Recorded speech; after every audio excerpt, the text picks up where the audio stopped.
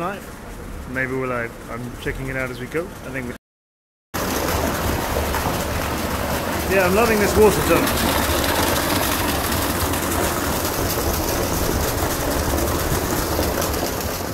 But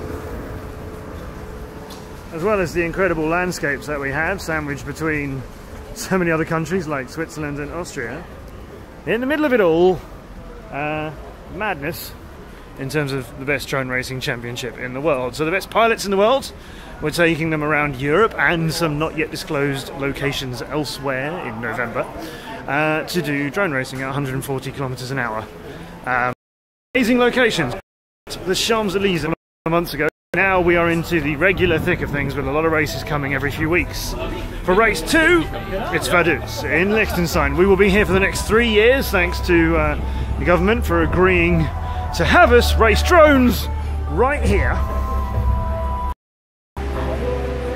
So that big triangular thing with a big uh, crane platform in front of it, that is the Parliament of Liechtenstein. This is the National Museum of Liechtenstein, a protected registered building that we really must not break in any way.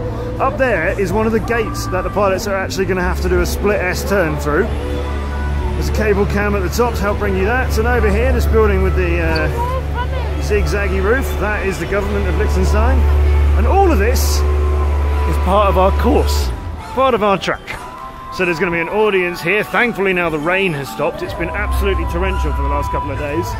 Uh, we can do it in the rain. The pilots know how to do it in the rain. Uh, it's difficult, obviously. It throws up a lot of technical problems too for an outside broadcast like this because this is live tonight, as I said, on YouTube. Uh, YouTube.com slash Drone Champions League is where you'll be able to watch it. This is what we're going to be racing in. So behind all these benches and uh, umbrellas for our audience, is an incredible and really difficult racetrack. This is the stage where our racers will be sitting to compete in two teams of four. If you've not seen Drone Champions League before, it's a very special format. Um, you'll have to watch it to find out. Now we're going to go quickly, as we've got to access all areas, we're going to pop into the course. There it is. These are the starting blocks.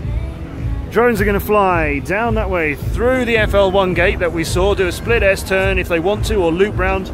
Some will go sideways, some will come over the top of it.